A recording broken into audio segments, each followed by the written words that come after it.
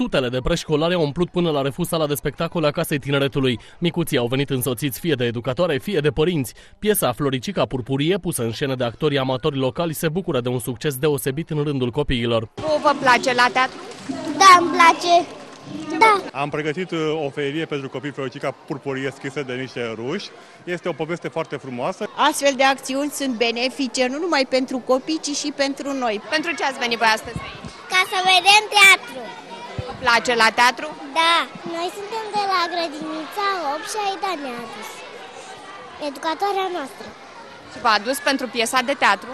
Da. Și pentru ca distracția să fie deplină, copiii s-au bucurat și de surprizele dulci oferite de organizațiile neguvernamentale. O surpriză pentru ei este Asociația Femeilor Secolului 21 reprezentată prin doamna deputat Doinița Chircu, ce le oferă o serie de dulciuri celor prezenți. Fiecare părinte se străduiește ca în fiecare zi să aducă o bucurie copilului, dar și noi, ceilalți, trebuie să privim copiii uh, în genere ca, pe și, ca și pe copiii noștri și să le facem bucurii zilnice dacă se poate. Mii de copii se simt prețuiți și trăiesc în aceste zile momente de aleasă bucurie, grație celor cinci spectacole jucate de actorii severineni pe scena Casei Tineretului. Ei sunt pregătiți pentru a deveni spectatorii de mâine.